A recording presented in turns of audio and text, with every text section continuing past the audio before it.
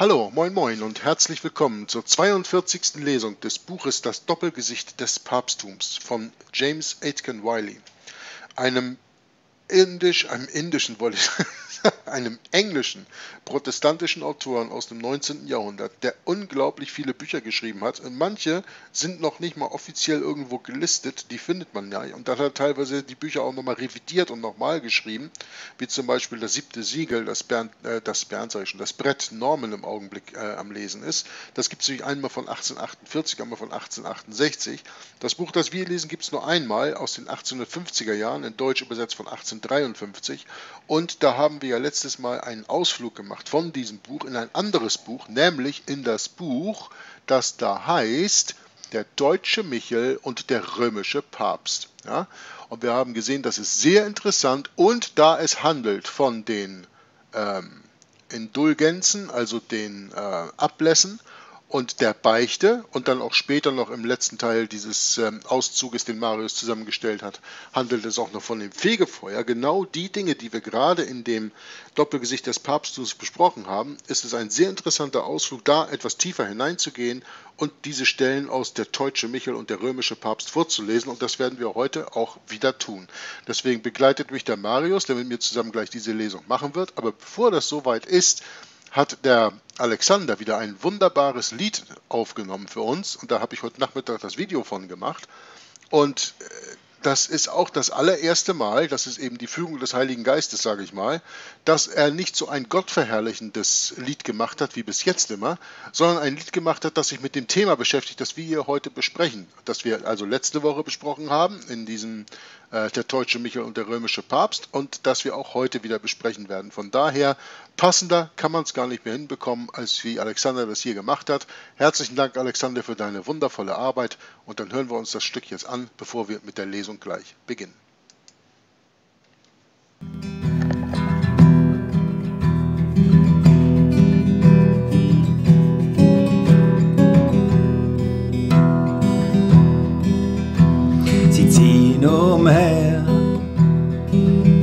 Auf der ganzen Welt. Sie tragen schwarze Roben und lächeln dir ins Gesicht. Ihre Gier kennt keine Grenzen, kein Mensch, kein Land vor ihnen sicher. Die Teufel aus Rom. Schrecken ohne Grenzen. Schrecken ohne Grenzen. Die Tür zum Beichtstuhl weit offen ob Mädchen, Knabe oder Frau, sie schrecken vor nichts zurück. So viele wurden von ihnen missbraucht, kein Gefäß mag das Leid erfassen. Die Hölle auf die Menschen losgelassen. Hölle auf die Menschen losgelassen. Sie lügen dir ins Gesicht, verdrehen die Wahrheit, machen die Finsternis zum Licht der Wahrheit Feind. haben den äußeren Schein von Gottes Furcht, dessen Kraft aber verleugnen sie. Die Pest aus Rom, das Haus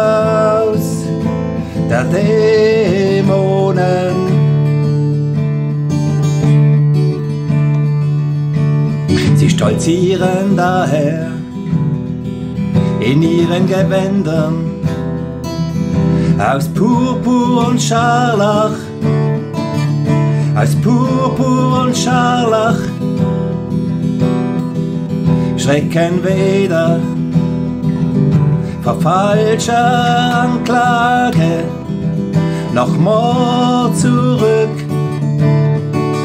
noch Mord zurück. Kein Krieg auf dieser Welt, wo sie nicht die Fäden in ihren Händen hielten. Rom, du Hure Babylon, du reitest auf der Schlange.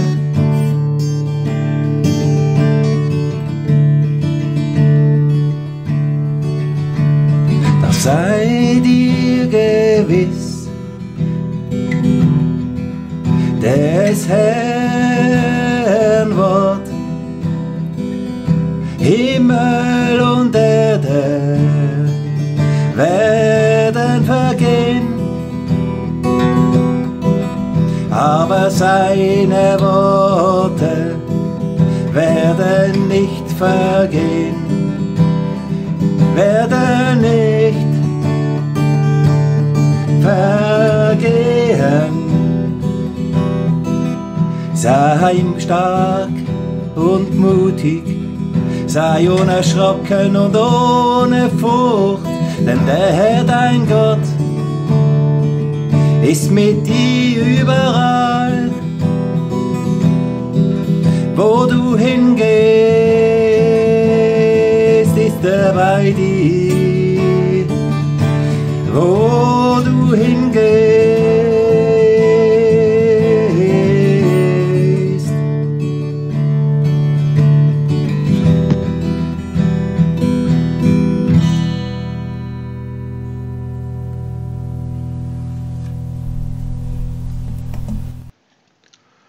Wieder ein sehr schönes Werk von Alexander. Und äh, wenn ihr das mal guckt, hier der Text hier, der hier unten steht, zum Schluss, der ist aus dem Buch Joshua, Kapitel 9, Vers 1. Das ist aber original aus dem Text von Alexander übernommen. Und ich glaube nicht, Alexander, dass du die Bibel zu Rate gezogen hast für den Text, ne? Äh, ja, Herr schon, aber mir ist der Text schon in den Sinn gekommen, so.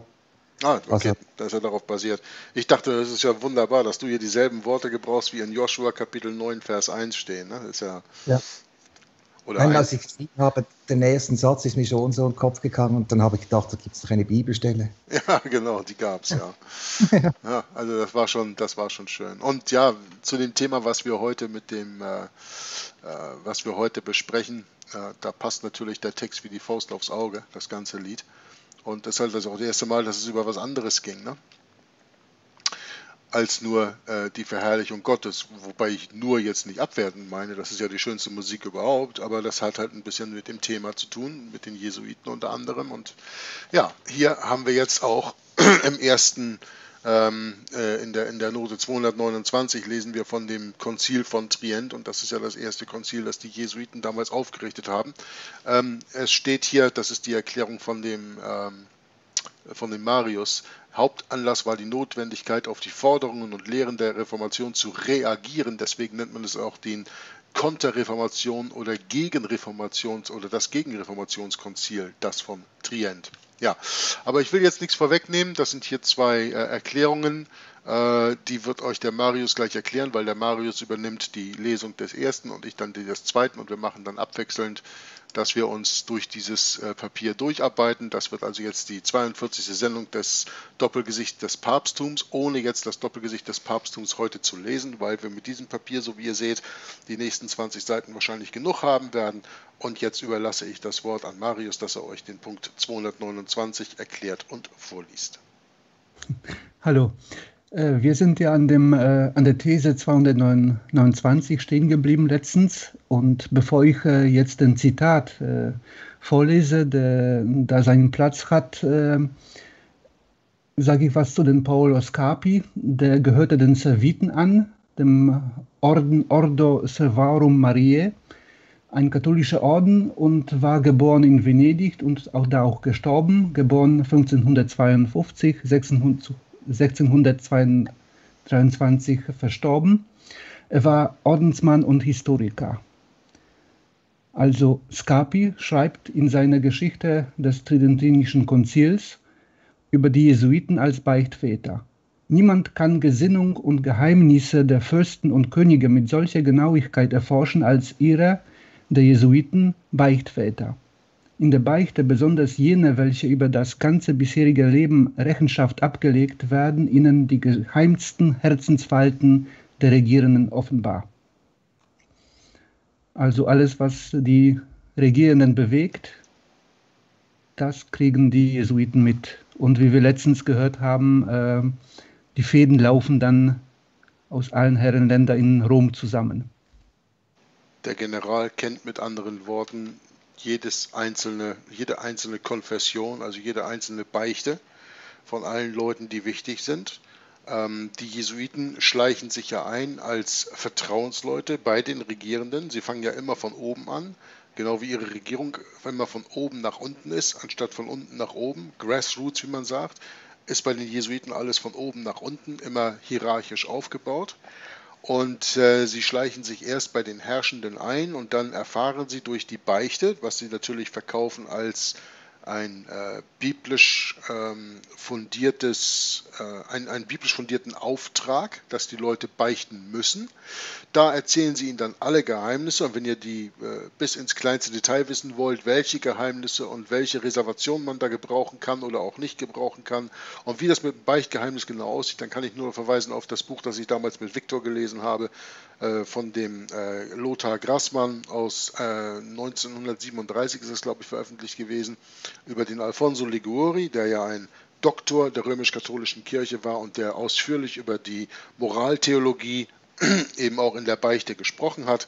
Da kommt das alles äh, drin zurück. Und ich hatte ja schon mehrmals das Beispiel angeholt von dem König Ludwig XIV., dem Sonnenkönig Louis XIV., wie wir ihn auch kennen, der ja äh, aufgrund dessen, dass er seinen jesuitischen Beichtvater hatte und der Beichtvater hat ihn in der Hand, mit, mit seiner Beichte. Der hat gesagt, König, du hast hier ein paar äh, Übertretungen begangen, du hast hier ein paar Sünden begangen, die kann ich dir einfach nicht vergeben.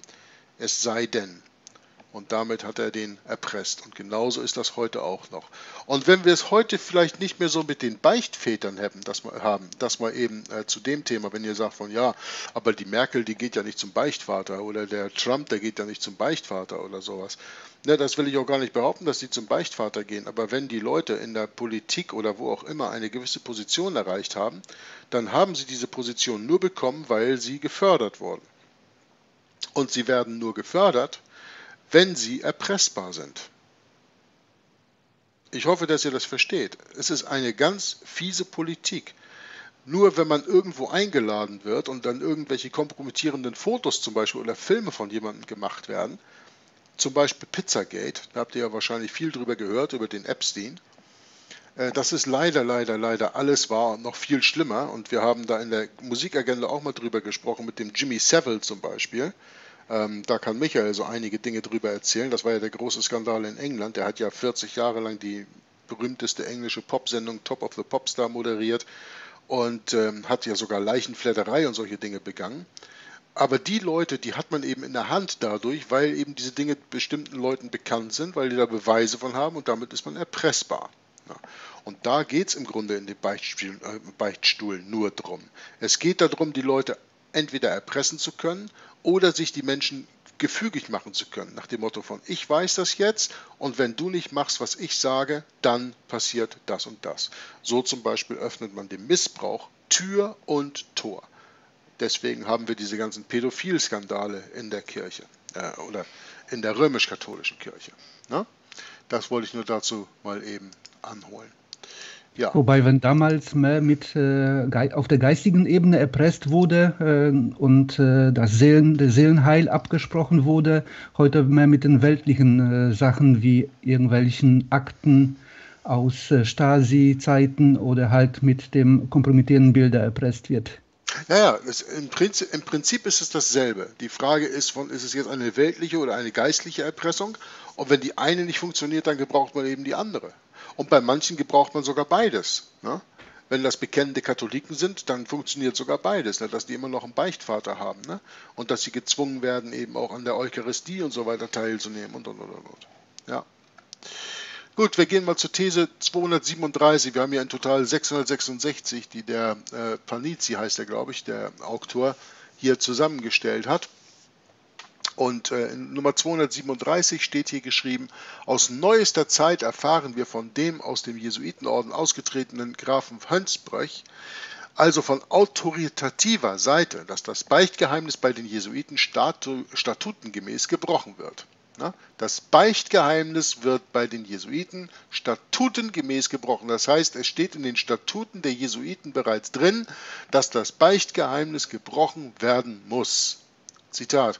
Der Jesuitengeneral Claudius Aquaviva stellte als zu äh, Grundsatz auf, dass selbst wenn die Gewissensrechenschaft abgelegt worden sei in Form der sakramentalen Beichte, dennoch der Obere das in dieser Beichte mitgeteilte in der angegebenen Weise, das heißt zur Disposition der Oberen und des Generals benutzen dürfen. Hier wurde also von Menschenhand das von Gott seinem Sakrament aufgedrückte Siegel zerbrochen. Nun, da muss ich als kleinen Kommentar natürlich hinzufügen, dass die Beichte natürlich, so wie es in der Bibel steht, nicht an einen Menschen gebracht wird. Ja? Also hier wurde vom Menschen das von Gott seinem Sakrament aufgedrückte Siegel zerbrochen, ist in der Hinsicht nicht ganz richtig, weil in der Bibel nirgendwo drin steht, dass ich meine Sünden einem Menschen beichen muss, sondern in der Bibel steht drin, dass ich mit meinen Sünden zu Gott gehe, zu Jesus Christus. Ja? Und nur er kann die Sünden äh, vergeben. Und er bricht das Sakrament des Schweigens auch nicht. Ne? So, Jesus teilt nicht anderen von meinen Sünden mit. Aber das äh, lasse ich, das übersehe ich jetzt hier eben mal, dass der Autor da ähm, diesen Satz damit beischreibt, in Unwissenheit der wahren biblischen Funktion der Beichte. Und der Graf von Hönsbrecht, der hat ein Buch geschrieben, äh, ich meine, das heißt 14 Jahre Jesuit. Das ist ein ziemlich bekanntes Buch. Das ist, äh, glaube ich, in zwei Bänden erschienen, ziemlich äh, dickes Werk. Das kann man gratis auf archive.org sich anschauen und runterladen. Äh, das ist dann auch in, ähm, ich meine, in Frakturschrift geschrieben und es gibt auch auf YouTube für jemanden, der das gerne hören möchte, kann sich das anhören, ein Audiobuch, wo also jemand dieses Buch liest. Aber das ist keine Besprechung, wie ich das immer mache in meinen Büchern, das ist einfach nur nacktes Vorlesen. Ähm, das kann man sich antun. Ich habe da mal reingehört, aber ich bin nach zwei Minuten dann eingeschlafen äh, wegen der Stimme. Also das ist nichts für mich. Das Buch lesen könnte vielleicht interessant sein, aber ich habe mich da noch nicht drum gekümmert. Aber ist ein Tipp, den ich mal gebe. Wenn man möchte, kann man das gerne machen. Ja, und These Nummer 239 gebe ich dann gerne wieder an Marius ab. Da hast du schon etwas auch davon vorweggenommen, aber ich lese es weiter. Das ist die katholische Beichte, ein Narrenwerk. Erst vergöttlicht, dann vermenschlicht. Ich glaube, aufgrund des Gesagten darf man jeden Deutschen zurufen, beicht überhaupt nicht. Wenigstens solange ihr nicht wisst, dass ihr einen Deutschen von Rom unabhängigen Priester gegenübersteht. Eure Gewissen muss doch wahrhaftig mehr wert sein als der Papst. Und summa summarum, wer ein Recht Christen ist, der tut viel besser, Gott allein zu beichten, unangesehen des Papstes Narrenwerk und Gebot, wenn und wie oft er will oder darf. Ja, also, da habe ich, hab ich was vorweggenommen, ja. ohne es zu wissen, weil ich ja in das Papier vorher nicht reingeschaut habe. Das stimmt, aber ich messe eben immer alles an der Bibel. Entschuldigung, deswegen habe ich das vorher gesagt. Ja. Ähm, aber er sagte ja selber, äh, beichtet überhaupt nicht, wenigstens solange ihr nicht wisst, dass ihr einem Deutschen vom Rom unabhängigen Priester gegenübersteht. Aber selbst dann beichte ich meine Sünden noch einem Menschen und das ist ja eben nicht die Absicht. Ne? Viel besser ist es, Gott alleine zu beichten. Eben. Oder das einzige Wahre. Das ist nicht nur besser, das ist auch so biblisch äh, bestimmt im Grunde, dass wir das so tun sollen. Ja. In These 240 steht dann geschrieben, Überwachung aber des Menschen in jedem Moment auf allen seinen Gängen bis auf seine nebensächlichsten Handlungen war das Grundprinzip der katholischen Hierarchie. Man muss den Menschen nicht nur die nebensächlichsten Handlungen erzählen, man muss ihnen teilweise eben auch sogar ihre Träume, ihre Verlangen ihre Wünsche erzählen, ihre Vorstellungen. Ja? Gerade eben bei Heranwachsenden machen sie sich das, also bei den Jungfrauen und sowas, ja, welche sexuellen Verlänge, Verlangen, welche sexuellen Wünsche hast du denn? Und auf die Art und Weise ähm, hat der Priester da dann seinen Zugriff auf diese Leute gehabt.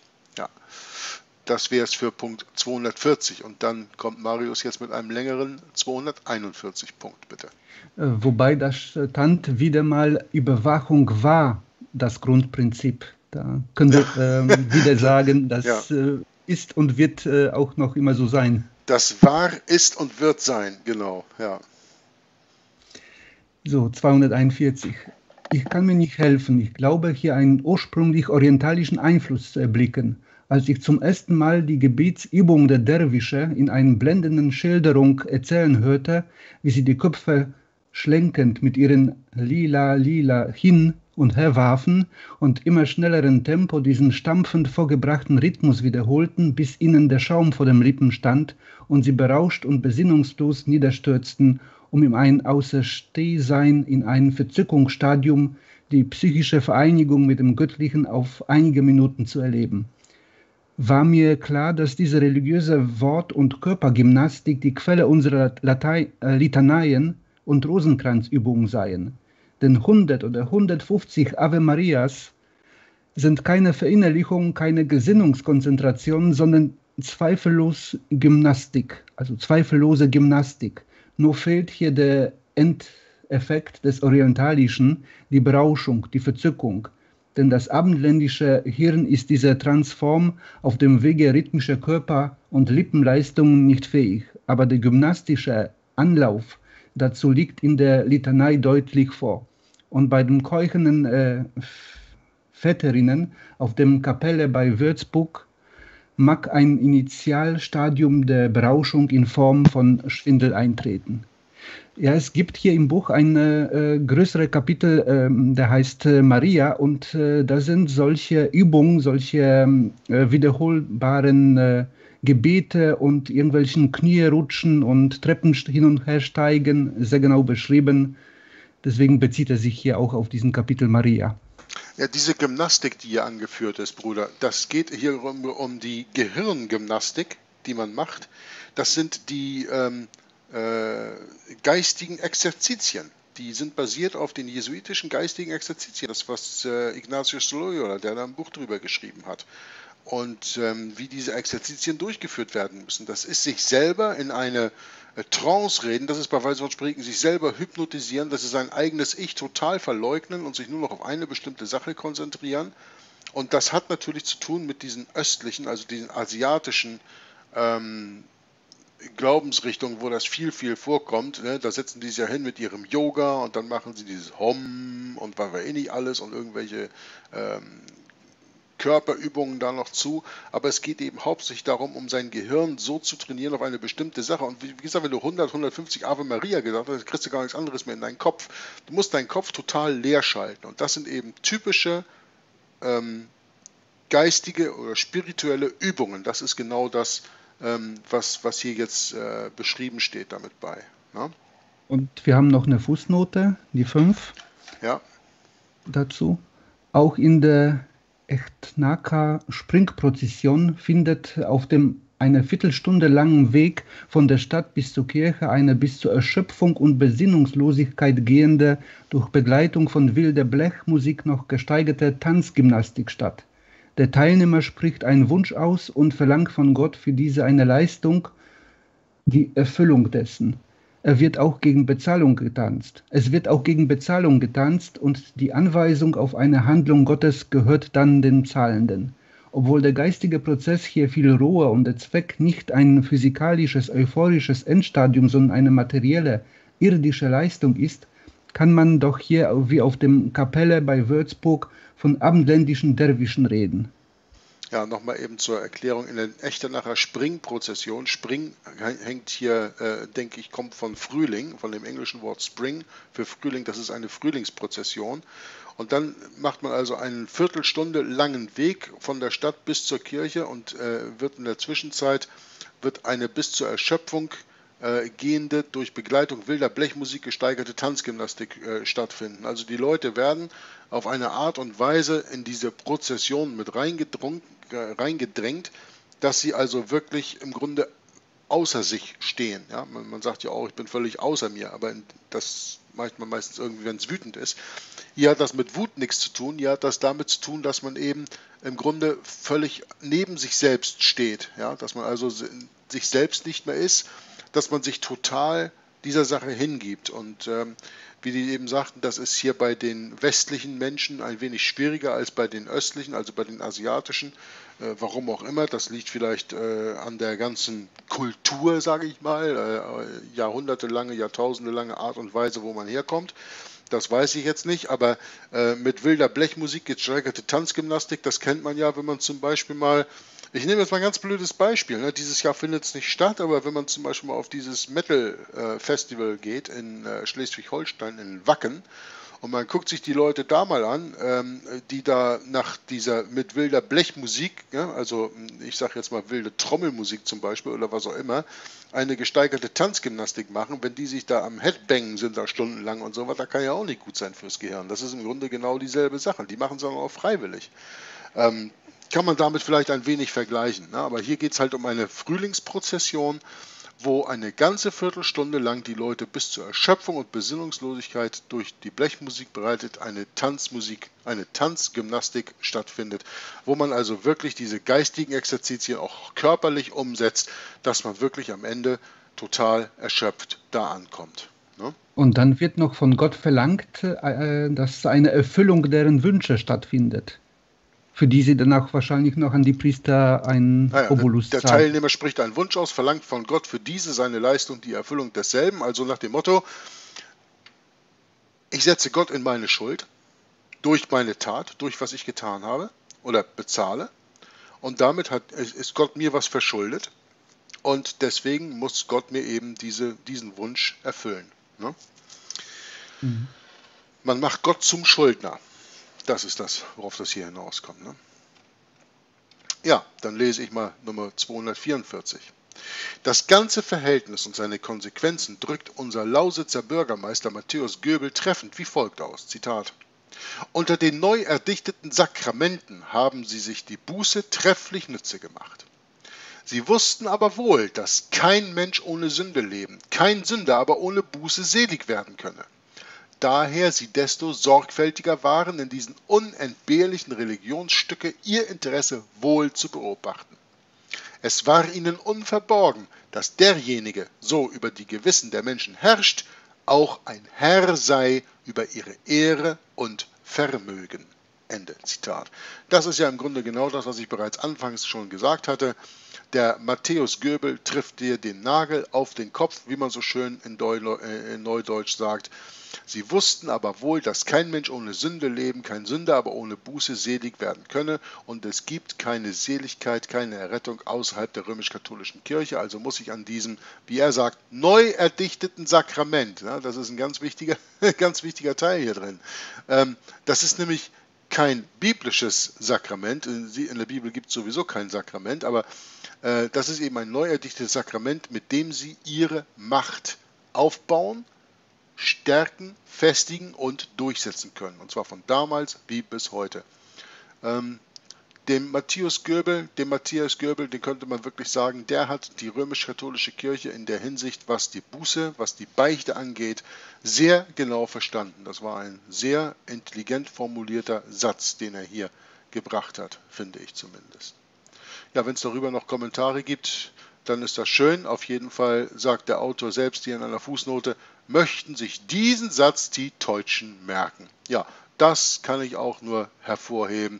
Möchte man sich diesen Satz noch einmal merken, dann hat man eine ganze Menge bereits vom Funktionieren der römisch-katholischen Kirche verstanden, wenn man sich diesen Satz merkt. So, die These 248. Also ich Und, hätte, hätte noch eine Bemerkung ja? zu machen, bevor es weitergeht. Und zwar betrifft es der König David. Er hat ja eine schlimme Sünde begangen. Und es wird oft gemeint, er tat hier eine Buße. Aber der Sachverhalt war ja dort, David hat ja diese Sünde begangen und dann hat der Prophet Nathanael, glaube eine Botschaft bekommen von Gott, dass er zum König David gehen soll, um ihm diese Sünde vorzuhalten. Ja, damit, das hat damit, nichts mit Buße zu tun, ne? Nein, das hat nichts mit Buße zu tun, aber diese geistliche Person, also dieser Prophet, ist dann zum König gegangen, mit dem Risiko, dass er auch umgebracht werden könnte, vielleicht, ja. Mhm. Man weiß ja nicht, wie der andere darauf reagiert, wenn ihm die Wahrheit vor die Nase gerieben wird. Aber der König David hat sich darauf ja hin an Gott gewandt und dann sich ja an Reue gezeigt und diese Sünde bekannt vor Gott. Ja, es hängt ja auch damit zusammen, glaube ich, weil David sich ja nicht davon bewusst war, dass Gott diese Sünde überhaupt kannte. Ne? Er meinte, er hätte es im Verborgenen getan, ne? wenn genau. ich die Geschichte richtig kenne. Ne? Und eben auch, ich finde es auch wichtig, er wurde ja dann auch wieder frei von dieser Sünde, also er wurde auch nicht mehr erpressbar von einer anderen Seite. Das finde ich auch noch wichtig. Was wäre passiert, wenn da der König David erpressbar würde oder geworden wäre? Das ist sicherlich ein ganz, ganz wichtiger Punkt, den man hier mal anholen könnte, ja. ja. Genau. Eben wenn man, wenn man diese Sünden eben Gott beichtet und nicht einem Menschen, dann ist man erst frei. Es ist genau wie Jesus, genau so wie Jesus Christus ja auch gesagt hat. Und die Wahrheit wird euch frei machen. Die Freiheit, die ich euch gebe, ist nicht die Freiheit in dieser Welt. Ja? Das ist ja. das eben. Dann, dann ist man wirklich frei. Ja. Deswegen müssen wir als Christen hier in dieser Welt ja im Grunde auch keine Angst mehr haben. Ich meine, ich, ich denke, dass wir Christen alle uns um Corona einen feuchten Dreck scheren, mehr oder weniger. Weil wir sagen, da haben wir keine Angst vor. Gott beschützt uns und ähm, äh, Gott verfährt mit den Seinen nach seinem Willen. Und äh, das kann man eben nur machen, wenn man wirklich frei ist und wenn man wirklich keine Angst hat. Und äh, ein angstfreies Leben führen, das ist ja im Grunde das, uns überhaupt erst zu Gott leitet, weil durch die Angst werden wir auch von Gott weggehalten. Das ist ja genau die Politik des Satans. Deswegen wird die Menschheit von Anfang an, Entschuldigung, deswegen wird die Menschheit von Anfang an immer wieder in Angst und Schrecken versetzt. Ja? Jetzt zum Beispiel mit Corona oder mit Kriegen oder mit sonstigen Sachen. Ne? Weil Menschen, die Angst haben, die kann ich kontrollieren. Und wenn der Mensch die Menschen kontrollieren kann oder der Teufel den Menschen kontrollieren kann, was mehr oder weniger auf dasselbe hinauskommt, dann gebe ich mich nicht der Kontrolle Gottes über. Ich muss mich aber von Gott kontrollieren lassen. Ich muss ein Leben führen, wie er es für mich bestimmt hat und nicht wie der Mensch oder der Satan es für mich bestimmt. Ganz wichtiger Punkt, den du hier mit David anholst. Wir können ja die äh, Bibelstelle auch gerne mal lesen. Ich bin mir jetzt nicht bewusst, wo das ist, weil ich habe das selbst in der Bibel noch nicht gelesen, muss ich ehrlich zugeben. Ich habe ja viele Stellen in der Bibel noch nicht gelesen. Aber wenn du damit bekannt bist, ähm, Alexander, dann kannst äh, du das ja, kannst du das ja gerne zumindest auszugsweise mal vorlesen, wenn du meinst, dass es hier jetzt passend wäre dazu. Hast, du das, hast du das bei der Hand?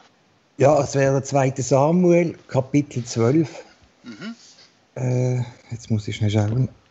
Es sind die Verse 7 bis 10 und 13. Ja, lies das doch mal vor, bitte. Das, also, also der erste Vers müsste man auch noch bringen. Und der Herr sandte Nathanael zu David, Nathan zu David. Also das ist noch wichtig. Und dann kam der Nathan zu David. Da sprach Nathan zu David, du bist der Mann. So spricht der Herr, der Gott Israels. Ich habe dich zum König über Israel gesalbt und ich habe dich aus dem Haus Israel errettet, äh, Haus Sauls errettet, Entschuldigung. Ja, ich habe dir das Haus deines Herrn gegeben, dazu die Frauen deines Herrn in deine Schoß und habe dir das Haus Israel und Juda gegeben. Und wäre das zu wenig, so hätte ich dich doch dies und das hinzugefügt. Warum hast du denn das Wort des Herrn verachtet, indem du tatest, was vor seinen Augen böse ist? Uriah, der Herr Titer, hast du mit dem Schwert erschlagen und seine Frau hast du dir zur Frau genommen. Ihn aber hast du durch das Schwert der Ammoniter umgebracht. Nun soll auch von deinem Haus das Schwert nicht weichen ewiglich, weil du mich verachtetest und die Frau Urias des Hitters genommen hast, dass sie deine Frau sei. Ja, jetzt, jetzt weiß ich wieder die, die Geschichte. Das ging um, äh, David war verliebt in diese Uriah und äh, die war genau. verheiratet und den Mann hat er, anstatt ihn zu töten, in den Krieg geschickt und dafür gesorgt, dass der in der Schlacht umgekommen ist, weil sie so eine Witwe war und er sie sich zur Frau nehmen konnte. Ne? Das ist schon lange her, dass ich das mal gelesen ja. habe in Englisch, ja, ja, stimmt. Und eben der 13. Vers, da äußert sich jetzt der David, da sprach David zu Nathan, ich habe gegen den Herrn gesündigt. Nathan sprach zu David, so hat auch der Herr deine Sünde hinweggenommen, du sollst nicht sterben. Ja, das ist doch mal ein wunderbarer Fall, wo man auch ganz deutlich versteht, dass es hier geht, obwohl er irgendwie mit Menschen, obwohl er Menschen manipuliert hat, dass er doch gesündigt hat gegen den Herrn. Ne? Es steht mhm. ja in mhm. der Bibel geschrieben im Neuen Testament, wir sollen einander unsere Fehler bekennen, aber wir sollen einander nicht unsere Sünden beichten. Die römisch-katholische Kirche dreht das dann immer sehr schön um. Ne? Ähm, die meint dann, dass wir unsere Sünden eben auch einem Menschen beichten müssen, also einem Priester, wobei ja sowieso schon mal die ganze römisch-katholische Kirche von der Hierarchie, allein, äh, von der Hierarchie alleine gesehen ähm, schon mal total unbiblisch ist, weil in der Bibel die ganzen Christen eine gleichwertige Gemeinschaft sind und äh, Priester und Bischöfe vorbringt, aber nur als Amt, ohne Autorität, ohne äh, äh, in einer Hierarchie zu stehen. Der Bischof in einer Gemeinde ist genauso viel wert wie die anderen. Er hat nur Respekt oder kriegt Respekt zugeteilt aufgrund dessen, dass er eben Bibel lehren kann. Das kann ja nicht jeder, ne? ist ja nicht jeder ein Bibellehrer. Aber in der römisch-katholischen Kirche ist das ja gleich eine Hierarchie. Das ist genau das, was eingeht auf die Lehre Jesu Christi. Da sagt er ja, ihr alle seid Brüder und Schwestern und Jesus Christus ist das Haupt kein anderes Haupt, kein Priester, kein Bischof, sicher kein Kardinal und kein Papst. Ne? So sieht man immer, wenn man die Bibel gegen die römisch-katholische Kirche hält, dann hat sie keinen Bestand. Dann fällt sie in ins Nichts. Und diese Sache, die du gerade vorgelesen hast, Alexander, vielen Dank dafür, sagt ganz deutlich, obwohl David hier Menschen schlecht getan hat, Menschen manipuliert hat und Menschen missbraucht hat, um seinen Vorteil damit zu erreichen. Ja, anders kann man das ja nicht sagen, wenn er dafür sorgt, dass der Ehemann einer Frau ermordet wird, die er haben will, hat er doch damit gegen Gott gesündigt und muss mit Gott ins Reine kommen und muss mit Gott seine Sünden ausmachen und nicht mit irgendeinem Menschen. Das hat der Nathanael im gehalten und das äh, war eine sehr schöne Stelle. Ja, die macht noch den Punkt, den wir hier gerade gelesen haben, ein wenig, ein wenig deutlicher. Ne? Sie wussten wohl, dass kein Mensch ohne Sünde leben, kein Sünder aber ohne Buße selig werden könne. Genau das macht die römisch-katholische Kirche sich hier ähm, zu eigen die römisch-katholische Kirche stellt sich hier in die Position des Nathanael, den du gerade vorgelesen hast, aber nicht so wie der Nathanael in der Bibel, der dem David nur auf seine Fehler weist, nein, sondern auch noch um zu sagen, komm zu mir und sag mir jetzt, was du gemacht hast und ich werde dir vergeben.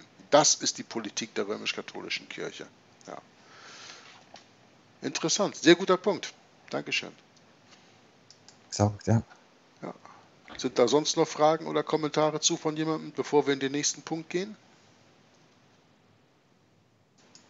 Dann jetzt, Verzeihung, 248. Und der Herrgott im Himmel schlug diese verdammte Sündenkrämerbude nicht in Trümmern? Nein, lieber Freund. Ehrliche Menschen schlossen aus diesem Umstand, dass diese päpstliche Sündenbude aufgeschlagen werden konnte, dass es kein Herrgott gebe. Das ja. ist äh, ein kurzer Abschnitt, aber den finde ich sehr wichtig, weil das auch vor allem in unserer Zeit sehr große Rolle spielt. Die nehmen sich dann ein Beispiel an der ja, katholischen Kirche oder der weltlichen Kirche und äh, sehen, was die alles veranstaltet und setzen das mit Gott äh, gleich und sagen, ja, wenn das da so ist, dann möchte ich mit dem nichts zu tun haben. Tja, ich muss da mal ganz kurz in die Bresche springen und muss da mal äh, ganz deutlich dir 100% recht geben. Das, was hier gerade eben geschrieben steht, ist die Erklärung, dass ich 45 Jahre lang von Gott nichts wissen wollte. Ich habe das, glaube ich, an anderen Stellen früher schon mal gesagt. Meine Mutter ist ja protestantisch, mein Vater war ungläubig, aber meine Mutter war protestantisch, hat auch versucht, mich äh, im Glauben zu erziehen, was ihr nicht geglückt ist. Und wenn ich meine Mutter aber damals mal gefragt hätte, ja, was ist denn eigentlich der Unterschied zwischen uns, die wir in der evangelischen Kirche sind, und der römisch-katholischen Kirche, da konnte mir die Unterschiede nicht wirklich erzählen. Und dann guckt man sich halt in der Welt um, man hat ja nichts anderes, und dann sieht man alles, was mit Gott und Christentum in dieser Welt gleichgesetzt wird, und das ist nun mal Katholizismus.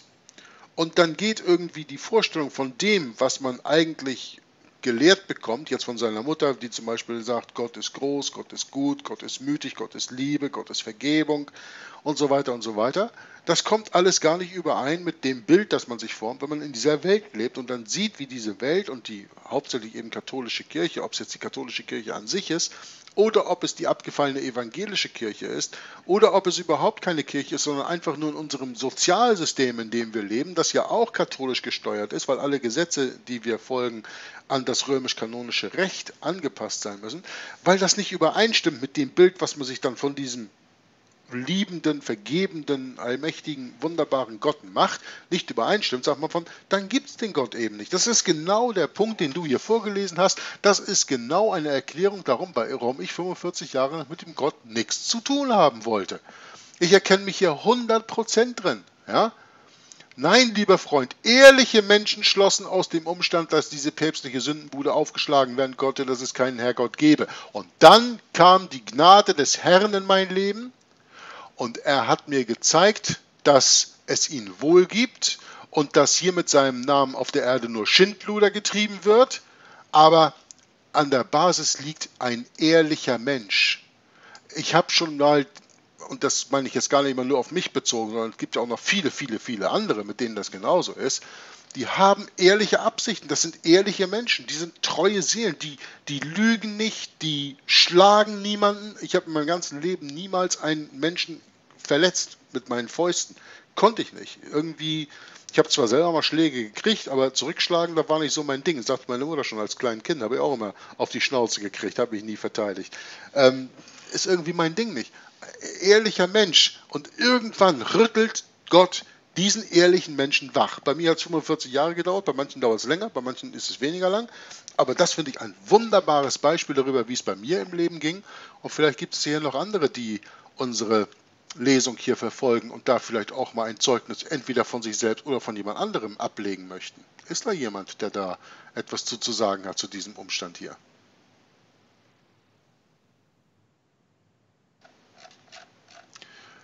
Dann gehen wir über auf Punkt 251. Den müsste ich jetzt vorlesen, glaube ich. Ne? Ich habe langsam ja. die, die, Reihenfolge verloren, wer wann lesen muss. Ja.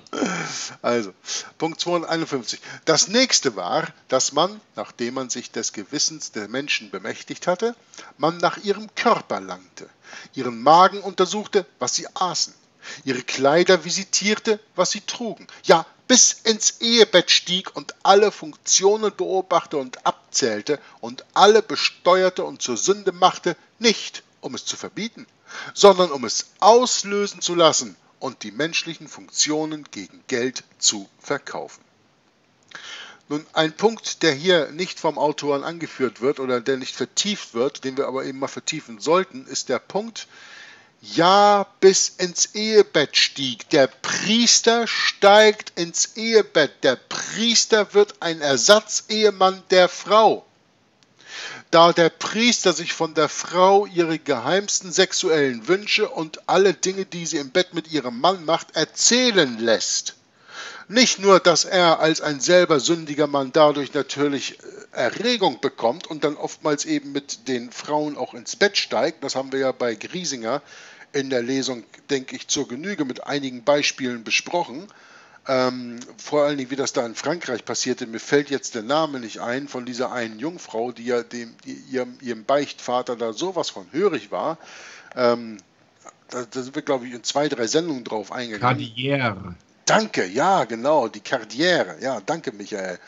Ähm, da, daher wissen wir das ja. Und äh, die Karriere war nun eine Jungfrau, die war nicht verheiratet. Aber es passiert ja auch mit vielen verheirateten Frauen, die eben in, die, in den Beichtstuhl gehen und dann dem Priester was beichten.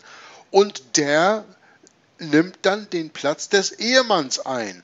Weil der Priester, das muss man sich mal vorstellen, die Frau erzählt dem Priester Dinge, die würde sie ihrem Mann niemals erzählen. Aber dem Priester als Vertrauensperson tut sie das. Nur der Priester, diese sogenannte Vertrauensperson, ist genauso ein sündiger Mann, wie ihr Ehemann das ist. Und bei dem werden jetzt Verlangen und Wünsche und Träume ausgelöst durch die Dinge, die die Frau sagt. Und dann ist es leicht, seine Macht zu missbrauchen und dann mit der Frau in diesem Fall ins Bett zu steigen. Und dasselbe passiert mit Knaben und mit Jungfrauen. Ja, bis ins Ehebett stieg. Das ist ein ganz kurzer Satz, sind nur fünf Worte, ne? Aber sowas von wichtig, das richtig zu verstehen. Da liegt der große Missbrauch der römisch-katholischen Kirche. Ich möchte dann noch mal eben ein anderes Bild anholen, dass wir uns hier den Beichtstuhl mit beiholen. Ich hatte das heute Nachmittag noch gebraucht für das Video, das wir gerade eben gesehen haben. Und äh, möchte das Bild noch mal eben mit reinnehmen, weil da wird das vielleicht dann ein wenig deutlich, wenn man sich das anguckt. Dieses Bild hier dann wird einem vielleicht deutlich, was die Frau jetzt dem Priester da erzählt und wie der ein ganz normaler, sündiger Mensch, wie wir alle eben auch, sich fühlen muss, wenn er da die geheimsten, oftmals sexuellen Wünsche und Verlangen von verheirateten Frauen hört. Und er hat also, er nimmt also die Vertrauensposition ein, die eigentlich der Ehemann einnehmen sollte. Und dann, ja, verführt er die Frau und macht Machtmissbrauch aus seiner Position heraus und begeht dann Ehebruch mit der Frau, die im Beichtstuhl da sitzt. Ob das jetzt eine verheiratete Frau ist oder eine Jungfrau, das spielt keine Rolle. Jeder Sex außerhalb der Ehe ist Sünde, ist Ehebruch. Ja? Also entweder macht die verheiratete Frau Sex mit dem Priester, das ist Ehebruch, oder die unverheiratete Frau macht es, weil sie nicht verheiratet ist, hat sie Sex außerhalb der Ehe, ist genauso Ehebruch. Ja? Und ist genauso dieselbe Sünde. Das müssen wir immer berücksichtigen. Das heißt, mit anderen Worten, selbst wenn die Menschen noch keine Sünde begangen haben, sondern wenn sie nur Gedanken darüber haben, durch das dem Priester zu erzählen, werden sie dann im Grunde erst zur Sünde verführt. Ganz wichtiger Punkt. Aber das hatten wir ja, glaube ich, auch bei Doppelgesicht des Papsttums bereits angesprochen in einer der letzten Lesungen, wo es um den Beichtstuhl ging, dass eben manche Sünden erst hervorgelockt werden durch überhaupt diese Art und Weise der römisch-katholischen Kirche mit der Sünde im Beichtstuhl umzugehen. Tja. Interessant ist auch, dass das Wort besteuert, alle Besteuerte da schon verwendet wird. Man assoziiert nicht unbedingt die Steuer mit der Kirche. Da war noch eine andere Wortmeldung, glaube ich. War das Max? Nein, das war ich noch. Ah, ich denke, okay. der erste Satz ist noch wichtig. Also, nachdem man sich das Gewissen des Menschen bemächtigt hatte, das geht ja auch wieder in das ganze, ja, wie soll ich, die ganze Gedankenkontrolle, das Enkultra auf hoher Ebene. Ja, nachdem Und ich den Menschen geistiger in meiner Macht habe, dann will ja, ich ihn genau. auch noch körperlich in meine Macht kriegen. Genau so ja. ist das gemeint, ja. Ja, das auch mit den Steuern, das ist auch gut, ja. Was gerade äh, Marius gesagt hat. Man macht aus diesen Sünden ein Geschäft dann wieder. He?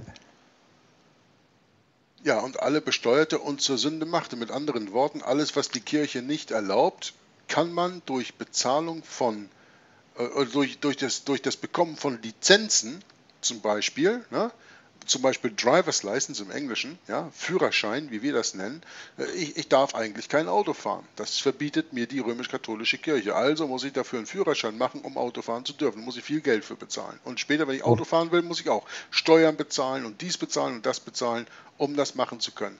Wenn ich, äh, wenn ich in ein Casino gehen will, wenn ich spielen will, Glücksspiel ist verboten, aber wenn ich eine Lizenz habe, dann kann ich ein Glücksspiel Laden aufmachen oder wie auch immer und muss dann da natürlich eben Steuern drauf zahlen. Ähm, käuflicher Sex ist verboten, aber wenn ich das organisiere mit der Kirche, wenn ich dann Steuern dafür bezahle, dann ist das in Ordnung. Und dann kommt auch diese ganze Hurerei und sowas an Bord. Und das ist genau das, was hiermit gemeint ist. Ja. Alle besteuerte und zur Sünde machte nicht, um es zu verbieten. Ja. Das ist ja, das ist doch genau wie jetzt mit Corona mit der Maskenpflicht. Ne? Wir machen die Maskenpflicht nicht, um zu verbieten, ohne Maske rumzulaufen, sondern dafür, wenn wir dich ohne Maske erwischen, dass wir dir Geld abnehmen können. Hier in Belgien kostet das jedes Mal 250 Euro, wenn du ohne Maske erwischt wirst. Ja. Das ist weißt genau dasselbe. Bitte? Weißt du, wie viel in Frankreich? Ich weiß nicht, ich glaube, Luxemburg ist sogar noch mehr. Luxemburg ist, glaube ich, 450 Euro. Und in Frankreich? Beim ersten Mal sind es 120 und wenn du in der zwei Wochen nochmals erwischt wirst, 1400. Wow. ja. ja, und das dämmt dann auch den Virus ein, ne? den sogenannten. Ne? Das Zahlen des Geldes. Ne? Das sorgt dafür, dass jetzt kein Virus da mehr ist. Ne? Absolut, absolut. Das hat auch schon bei den CO2 ähm, geholfen. die CO2-Zertifikate, die der Herr, äh, wie heißt er wieder da, äh, von Inconvenient Truth da, Al Gore, äh, in, in die Welt gebracht hat. Ne? Ja, der war ja der Erste, der die Firmen aufgerichtet hat, die CO2-Zertifikate verkauft hatten. Ne? Schelm, wer Böses dabei denkt. ja, äh, Punkt 258, wer ist dran? Ich, ich ja, ich, ich lese vielleicht ähm, beide, weil sie kurz sind und zusammenhängen, wenn es dann genehm ist. Aber bitte doch. 258. Allerdings stellte schon auf dem Konzil zu Konstanz 1418 die deutsche Nation die Forderung, die Ablässe, welche Vergebung der Sünden verheißen, verheißen, abzustellen. Aber wer kümmerte sich damals um die deutsche Nation? Das Hauptablasswesen ging ein Jahrhundert später erst recht los, äh, später erst recht an. Ja, ja mit Martin Im Gegenteil, Luther. Ne? Ja. Im Gegenteil, nachdem die Päpste die erste Süßigkeit des Ablasseinnahmen verkostet hatten, verlangten sie noch mehr. Ihr Magen schrie mit der Unerbittlichkeit eines hungernden Wolf nach dieser Speise. Und dieser Wolf ward unter Leo X zum brüllenden Löwen, der die ganze Länder verschlang. Ja, also wenn wir das jetzt nochmal ein wenig aufdröseln wollen, was hier genau steht, also das Konzil von Konstanz hat stattgefunden zwischen 1414 bis 1418, meine ich, auf jeden Fall 1415, weil 1415 ist ja das Jahr gewesen, in dem in Konstanz äh, Jan Hus lebendig verbrannt wurde, der, wegen der Ketzerei. Ähm, die haben bereits, da hat bereits äh, Deutschland gesagt, diese ähm, Ablässe sollen äh, aufhören, aber wen interessiert das denn schon, was die Deutschen sagen? Ganz im Gegenteil, dann geht es sogar noch weiter und dann kommt das Interessante. Ihr Magen schrie mit der Unerbittlichkeit eines hungernden Wolfes nach dieser Speise, und dieser Wolf ward unter Leo X. zum brüllenden Löwen der ganze Länder verschlang. Leo X., das ist der Antichrist, der zu der Zeit regierte, als Martin Luther seine Thesen damals in 1517 an die Kirchentür genagelt hat, wie ähm, geschichtlich zwar nicht überliefert ist, aber wie behauptet wird. Ne, er hat die äh, veröffentlicht in Latein am 31. Oktober 1517, aber sie geschichtlich an die Kirchentür geschlagen hat, ist nicht geschichtlich ähm, nachvollziehbar, ist nicht belegt. Aber auf jeden Fall hat Martin Luther dagegen die, äh, ist er gegen die äh, Ablässe vorgegangen, weil das so eine so ein unglaubliches Ausmaß angenommen hat, eben weil Rom den, Peter, äh, den, den Peterspalast bauen lassen wollte, den sie heute da stehen haben. Das hat Unsummen gekostet. Und woher sollten diese Summen kommen? Dann haben sie solche Leute wie Tetzel durch ganz Europa geschickt, um so viel Geld wie möglich daraus zu holen aus dem Verkauf der Ablässe, um sich diesen goldenen Palast dahinzustellen, der da heute immer noch steht und wo die Leute hingehen und in Erstaunen fallen und sagen, oh, wie ist das schön, hier, guck mal, all das Marmor und all das Gold und alles drum und dran. Das ist alles bezahlt. Mit Ablässen. Das ist alles bezahlt mit dem geistigen Blut der Heiligen. So möchte ich es mal nennen. Kann einem nur schlecht von werden. Gibt es da vielleicht noch andere Kommentare zu? Ihr könnt euch gerne beteiligen, ne? Ja, da fällt mir was zu ein. Wollte ich eigentlich zu Punkt 248 noch was sagen, aber ähm, das 248, passt jetzt sehr gut. okay, das hier? Ja, genau, das war auch der Punkt, wo du äh, dein Zeugnis gegeben hast, wie du da zum Glauben gekommen bist und dass du ähm, die vielen Jahre vorher im Leben halt auch nichts von Gott wissen wolltest, weil du halt immer nur diesen Prunk und Protz gesehen hast. Das machte da, keinen Sinn. Ja, genau. Gott machte ist, keinen Sinn. Wenn du nach Rom guckst, wie mit dem Gold und Marmor, den du gerade beschrieben hast, dann macht es halt für viele Menschen genauso wenig Sinn. Und das mhm. war bei mir genauso. Also ich habe auch immer äh, die Bibel immer ganz weit weg getan von mir und sie als Quatsch abgetan. Eben genau aus diesen Gründen, weil ich es halt auch nicht besser wusste. Und bei mir war es auch dann im 30. Lebensjahr, wo mich dann der Herr wachgerüttelt hat. Das war erstaunlicherweise auch genau mit dem Punkt, dass die römisch-katholische Kirche eben eine satanische Kirche ist. Erst dann hat es alles einen Sinn ergeben und es war nicht mehr Gott, der diesen Protz und diesen Prunk ähm, zur Schau stellte, sondern es war eine abgefallene, eine abgefallene Kirche oder eine, eine satanische Kirche. Und erst dann hat es alles einen Sinn ergeben. Und ich denke, dass das ein ganz, ganz wichtiger Punkt ist, ja hat jetzt schön gepasst mit dem, mit dem Punkt, ne, dass, dass eben diese ganzen diese ganzen Prunkbauten da in Rom auch eben ähm, mit dem Geld aus Lügen oder eben mit dem Blut der Heiligen bezahlt wurde. Ja. Ja, ist auch ein ganz ja. wichtiger Punkt, wie es hier im Punkt 259 steht. Ne? Im Gegenteil, nachdem die Päpste die erste Süßigkeit der Ablasseinnahmen verkostet hatten, verlangten sie noch mehr. Das ist so, das, das ist so dieses Zeug, so je mehr du isst, desto hungriger wirst du. Ne? Und äh, je mehr Geld du bekommst, desto mehr Geld willst du haben. Auch wenn die erste Million so leicht ist, dann gib mir nochmal 10. Aber wenn ich 10 haben kann, dann gib mir 100. Wenn ich 100 haben kann, gib mir 1000. Wenn ich 1000 haben kann, gib mir eine Million. Ne? Darum werden die Leute so. Raffgierig nennt man das auch. Und die kennen dann überhaupt kein Stoppen mehr und die kennen kein Pardon mehr und die kennen keine Grenzen mehr ihres Handelns. Das ist bei den Päpsten ganz sicher so. Und wir erinnern uns ja daran, wer die. Bitte? Die Augenlust der Menschen oder die Gier der Menschen. Ne? Ja. Wie die Flüsse, die ins Meer fließen und das Meer wird doch nie voll. Ja, diese ja. Predigergeschichte. Ja, das ist auch ein guter Punkt, ja. Ja, weil viel wieder verdampft, was man nicht sieht, ne? Oder der Fischer und sind froh. das ist ein Beispiel, das holt meine Mutter auch öfter an. Ja. Kannst du da mal drüber erzählen, Michael?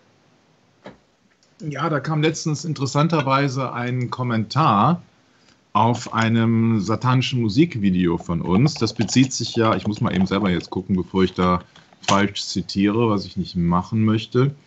Die hat sich eben bezogen auf die Geschichte mit Grace Jones und Isabel, wo ich gesagt habe, die ist ein Geist der Isabel. Und es gibt ein Märchen, das heißt von Fischer und seiner Frau. Und das ist in dem Aufgebot von den Gebrüder Grimm mit enthalten und geht wie folgt. Ein Fischer, der mit seiner Frau in einer armseligen als, Zitat, Pissput, Zitat Ende, bezeichneten Hütte lebt, angelt im Meer einen Butt, also ein Fisch, der als verwunschener Prinz um sein Leben bittet. Der Fischer lässt ihn wieder frei. Als Ilsebill, die Frau des Fischers, das hört, fragt sie ihn, ob er sich denn im Tausch gegen die Freiheit des Fisches nichts von ihm gewünscht habe. Sie drängt ihren Mann, den Butt erneut zu rufen, um sich eine kleine Hütte zu wünschen. Diesen Wunsch erfüllt ihm der Zauberfisch. Das ist alles Mythen, ne? aber dennoch. Doch schon bald ist Ilsebill damit nicht mehr zufrieden. Erneut verlangt sie von ihrem Mann, den Butt an Land zu rufen und einen größeren Wunsch vorzutragen. Der bekannt gewordene Refrain, also der Reim, der permanent gebraucht wird, mit dem des Fischers Ruf einen Butt lautet jedes Mal Manche, manche, Timpete, Butje, Butje in de See, Minnefroh, die Isabel will nicht so, als ich wohl will. Hier haben wir schon das Problem, dass letzten Endes die Frau dem Mann permanent Befehle erteilt und aufgrund dessen wir halt schon wissen, das kann nur ein heidnisches Märchen sein. Der Fischer teilt die Wünsche seiner Frau nicht, beugt sich aber trotz wachsender Angst ihrem Willen. Je maßloser Ilsebils Wünsche werden, desto mehr verschlechtert sich das Wetter. Also da kann man sehen, wer wieder an diesem sogenannten Klimawandel schuld ist. Ne? Isabel heißt die. Ich wollte es gerade sagen, das ist ja, das ist ja aus, dem, aus der Welt gegriffen heutzutage. Wahnsinn, ne? und das ja. ist schon so alt. Ne? Also, ja, Gebrüder Grimm war, war 14., 15. Jahrhundert, ne? Also da komme ich dann später zu, glaube ich. Aber ich will jetzt hier nicht, also 1843 ab der fünften Auflage und so weiter. Aber ich mache mal eben kurz weiter. Ich will ja nicht ja, die Sendung ja, bitte. Bitte. Nee, nee, ist gut, ist gut. Oder, ne? Also, verschlechtert sich das Wetter. Die See wird erst grün, dann blau-violett, dann schwarz und immer heftiger wird der Sturm. Nach der Hütte verlangt sie, also seine Frau, also Sinfru, also Isabel, ein Schloss als sie auch damit nicht zufrieden ist, möchte sie König, Kaiser und schließlich Papst werden. Alle diese Wünsche werden vom Bund erfüllt und angekündigt mit der Formel, Zitat, geh nur hin, sie ist es schon. Als Ilsebel schließlich fordert, wie der liebe Gott zu werden, wird sie wieder zurück in die armselige Hütte versetzt, wie am Anfang. Das ist lange her, dass ich die Geschichte noch äh, ganz gehört habe, aber es ist äh, sehr bedeutend, ne? Das ist eine interessante Allegorie auf unsere Gesellschaft mit dem unendlichen Egoismus und dem sogenannten Wirtschaftswachstum, was wir immer permanent haben müssen. Wir müssen immer Wachstum haben, wir müssen immer mehr haben, aber du siehst, im Endeffekt war diese Dame mit allen materiellen Dingen nicht zufrieden. Selbst König hat nicht gereicht. Also warum die König werden will, weiß ich nicht. Vielleicht ist das ein Gender-Thema bei ihr gewesen. Also ich hätte ja gedacht, dass sie Königin werden soll. Aber dann Kaiser oder Kaiserin und dann auch noch Papst da kann man doch mal wieder sehen in diesem Märchen, dass da so ein bisschen Funken Wahrheit drin ist. Also der Papst steht anscheinend über Kaiser und Könige. Tja, selbst in Grimms Märchen. Und selbst in Grimms auch, Märchen. Damit auch in der Wahrheit, ne? Ja. ja, ja, und Märchen ist ja nicht unbedingt falsch. Ne? Also Märchen kommt ja von mehr, von einer Kunde einer Geschichte. Ja, und man sollte auch lernen, dass man aus vielen Märchen eine äh, sehr gute Lektion manchmal lernen kann. Ne? Genau, wir das haben alles drin, was nicht passt. Also der Mann hat Angst vor seiner Frau, die Frau bestimmt zu Hause, die Frau ist maßlos und möchte sein wie der liebe Gott. Also im Endeffekt ist es eine Geschichte, da kann man eine ganze Menge draus lernen. Und die Moral von der Geschichte ist, dass man vielleicht die falsche Frau geheiratet hat. Da könnte man vielleicht von ausgehen, ja. Ja, oder der Mann vielleicht irgendwie die Bibel nicht gelesen hat. Ansonsten wüsste er, dass er vor seiner Frau eigentlich gar keine Angst haben müsste. Sie ist ja nicht die einzige Frau auf der Welt im Übrigen. Nee, stimmt. Also war ja nicht so wie im Paradies. Ne? Aber gut. Ja, danke, Michael. Das war ein ja. sehr schöner und äh, passender Vortrag hierzu. Und ich möchte das, die Sendung von heute abschließen mit der These Nummer 260, wo wir auch noch ein wenig drüber diskutieren werden wahrscheinlich. Und dann bringen wir das Video zum Abschluss. In These 260 schreibt der Autor nicht die Sünde vergeben, sondern solche seine Gesetze feilhaben und verkaufen. Da habe ich gerade eben schon drauf eingespielt mit den Lizenzen. Ja, das macht der Autor jetzt hier auch. Da hat er einen Markt und Kram angerichtet in aller Welt, welchen, dachte ich, achte ich, gäb er nicht um den Markt zu Venedig oder Antdorf. Da hat er feil Butterbriefe, also Butterbriefe, Eierbriefe, Milchbriefe, Käsebriefe, Fleischbriefe, Ablassbriefe, Ehebriefe und alles, was er schändlich gebunden hat und noch viel schändlicher ums Geld losgibt. Das ist das Geschwürm und Ungeziefer seines Krames. Indulta privilegia immunitatis ohne alle Maße und Zahl. Nun, für diejenigen, die nicht so bekannt sind mit diesen Ausdrücken Butterbriefe, Eierbriefe, Milchbriefe, Käsebriefe, Fleischbriefe, Ablassbriefe, mal kurz zur Erklärung. Butterbriefe wurden im Mittelalter zur Zeit des Ablasses, also hauptsächlich 14. und 15. und 16. Jahrhundert, verkauft, weil viele Leute eben in der Fastenzeit trotzdem Butter haben wollten. Weil Butter ist nun mal fett und ist wichtig und ist gesund. Also, naja, über die Gesundheit von tierischen Fetten, da spreche ich jetzt nicht, aber ne, ihr versteht schon, was ich meine. Deswegen wollten sie halt Butter haben in der Fastenzeit, wo das nicht durfte. Und um eben diese Fastenzeit zu durchbrechen, haben sie halt sich Ablassbriefe gekauft, um Butter in der Zeit essen zu können. Mit Eiern ist genau dasselbe. Das geht da irgendwie um die Zeit rum Ostern, glaube ich. Deswegen äh, haben wir auch diese Ostereier. Äh, Milchbriefe ist dasselbe wie die Butterbriefe und Käsebriefe ist genau dasselbe. Also da geht es immer darum, wenn die Kirche verbietet, irgendwas zu essen oder zu trinken. Hier zum Beispiel Fleischbriefe. Am Freitag verbietet die römisch-katholische Kirche Fleisch zu essen. Da haben die einen ganz komischen heidnischen Grund für, da will ich jetzt auch gar nicht weiter drauf eingehen. Wenn ich aber halt doch an dem Freitag Fleisch essen will, dann muss ich mir so einen Fleischablassbrief kaufen und dann kann ich eben an dem Freitag eben auch sündigen und anstatt Fisch oder irgendwas anderes kann ich da eben auch Fleisch essen. Das sind die Punkte, auf die wir hier ähm, soweit eingegangen sind. Und wenn jetzt irgendjemand da noch Fragen zu hat, dann schön, dann wollen wir die gerne in dieser Runde auch probieren zu beantworten.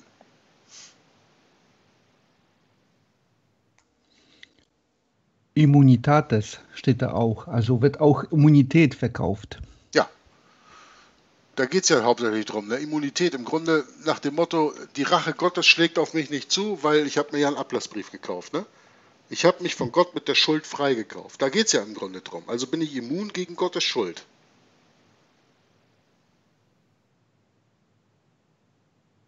So verstehe ich das zumindest. Weil schlussendlich sind diese Ablassbriefe ja, um mir von Sünden freizukaufen. Und Sünde, die Erklärung von Sünde ist ja eigentlich eine Übertretung gegenüber dem Gesetz Gottes. Wenn ich das Geld aber bezahle, dann ist Gott gnädig. Und deswegen muss ich nicht mehr ins Fegefeuer oder weniger lang ins Fegefeuer und komme nicht direkt in die Hölle und so weiter und so weiter. Ich kaufe mir also Immunität mit diesen verschiedenen Briefen. Ja? Da muss ich auch an die ähm, amtlichen Immunitäten denken, wenn jemand da was mit dem Auto anstellt und äh, das ist jetzt ein Ambassador oder irgendwie so ein, ja, ein Vertreter Fall, eines ja. anderes Landes, dann hat er auch die Immunität. Ja, die diplomatischen Vertreter, die äh, ganzen Botschafter und sowas, die alle möglichen äh, Gesetze übertreten können, weil sie außerhalb des Gesetzes stehen, weil sie unantastbar sind, weil sie eben Immunität genießen. Ja. Aber das ist dann wieder ein anderer Fall. Und das ist das Ganze dann nochmal potenziert hoch drei, lass uns mal sagen. Dann kommen wir ungefähr dahin. Ja, gut, wenn es weiterhin keine Wortmeldung zu diesem Thema gibt, dann äh, möchte ich mich ganz herzlich für die Beteiligung bedanken, auch für die Lesung, äh, die Marius geschafft hat, gemacht hat, also mitgelesen hat und vorbereitet hat. Und ja, wir können mal eben sehen, wie viele Seiten haben wir denn heute gelesen. Wir hatten ja zu Anfang was gesagt. Der, der Jörg, der liest zwei Seiten. Nee, nee, guck mal, drei. Wir sind auf Seite 9, unten auf Seite 9. Drei Seiten gelesen. Wir haben immer noch ein paar Seiten vor uns, wenn es bis Seite 26 geht. Also könnt ihr euch darauf freuen, dass wir in der nächsten Lesung das Doppelgesicht des Papsttums wieder auf dieses Thema eingehen, dass wir das noch breiter platt treten werden, um euch noch mehr deutlich zu machen, dass nicht nur in dem Buch von James Atkin Wiley aus 1850, äh, sondern auch in dem Buch von äh, Pan, Pan, Panzini, dachte ich, wie er hieß, von 1894, Panizza, danke, äh, Panizza von 1894 diese Dinge äh, breitgetreten werden, über die man heute gar nicht mehr spricht, weil man heute die Verbindung nicht mehr legt, aber die Verbindung ist damals wie heute immer noch dieselbe. Und es geht darum, einem Menschen zu dienen, anstatt dem Gott. Aber wir als wahre bibelgläubige Christen wollen unserem Herrn dienen und deswegen müssen wir sein Wort kennen. Und darum verbleibe ich mit meinem Aufruf, wie auch sonst. Bitte, lest eure Bibel. Maranatha.